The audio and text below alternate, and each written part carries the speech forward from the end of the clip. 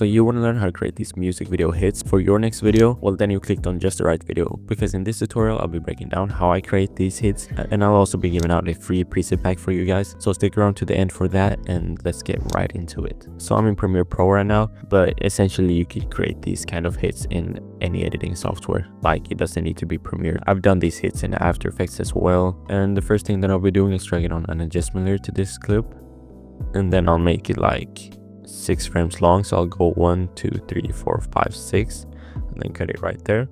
And the first effect that i'll be adding on is an offset effect and i'll drag it onto the adjustment layer and this is just so we can move the clip to the left and the right and still have this kind of motion tile in there. So what i'll do is actually keyframe the shift edge right here. Let's drag it in like five frames in and keep it right there. And for the first frame i'll change the shift center to 50 so we can create a vertical hit and then I'll go one frame in and then I'll change it to 650 like this. So it will go down and then all the way up. And then for the next frame I'll have it go back to 260 and then we can keep like two frames in between and then you can go back to normal like this. So if I play it through right now it won't be smooth at all but but we will be working on it and make it as smooth as possible. So this is what it looks like right now which isn't like what we're looking for, but we're well on our way. I'll add on a directional blur now, so I'll drag it onto the adjustment layer. And I'll keep the direction at zero, that way it will be a vertical blur. And then I'll drag up the blur length to like 150. Somewhere around here, and I'll keyframe the blur length at that. And then I'll drag it one frame after our offset keyframes and then change it back to zero. So let's select our keyframes for this one and press ease in. So now if I play it through, it looks like this, which is a smooth horizontal hit right when the clip comes in right there. And I'm happy with that. You can also have it like in between your clips like this if you like that. These are just very common in music videos and I actually got a full pack with like 50 of these hits uh, for both Premiere Pro and After Effects. See if I open up essential hits and movement, you can see I got a map with flash and one without flash and you can see we got all these presets here horizontal hits vertical hits zoom hits and all of that good stuff. They don't require any paid plugins. But back to this effect you can also add on a brightness and contrast effect.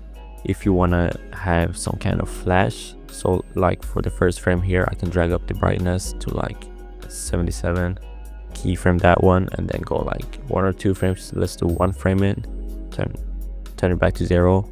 No actually let's do two frames and then one frame drag it up a little bit. Let's do like 40 and then right here drag it back. That way we'll have some kind of flash in between.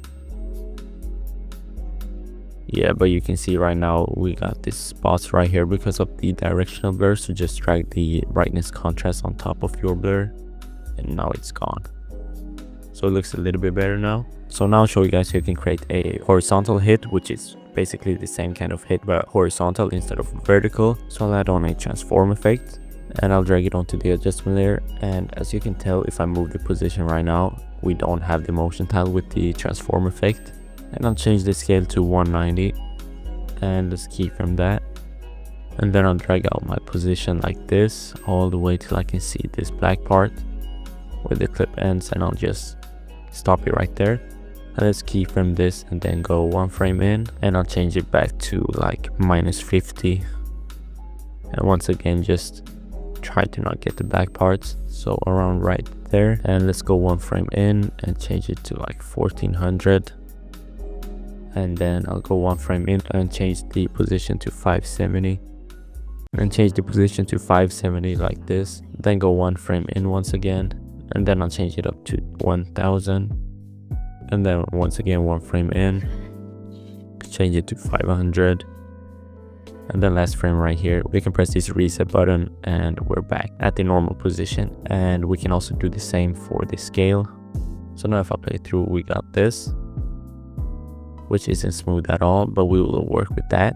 So let's scroll down right here and you can see our shutter angle. Let's turn this one up to 180 that way we'll have some motion blur. And if it looks like this for you then it's probably way too much so let's do like 100 and this is a little bit better so let's work with this because we will add some blur on as well.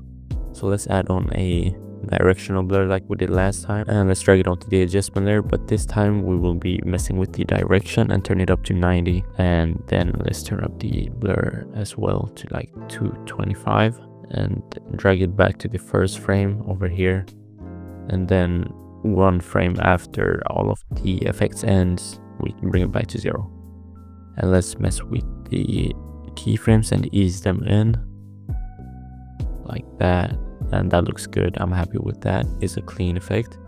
And if you want to add a flash on like we did last time let's add on a brightness and contrast. We don't gotta do too much this time. Let's just keyframe go two frames in turn it up. Let's do 60 go two frames in turn it down to zero. Go one frame in turn it up a little bit. Like this and then turn it back down to zero. Yeah only thing that's not looking good right now is this part. So let's just move it back a little bit like this. And i'm pretty happy with this. It looks it looks great. Now if you guys want to grab some free presets i'll have my stay creative starter kit linked in the description inside that pack you'll get both of these presets as well as one of these night vision effects from my open presets and also some After Effects presets and a couple overlays. I'll show you guys real quick. So it comes with a guide how to use it and some presets in here. We got this Vortex Blast in After Effects from my Trippy Backgrounds pack, a shade, a black and white OPM effect, and a couple of sound effects and some overlays, as well as this one from my Money Overlays pack. So if I drag it on just like this, I'll show you guys what it looks like. Yeah and you got a transition in between there. So if you line up your money overlay correctly like this right between the cut like that then you'll have a clean transition. That one is crazy. I love this pack.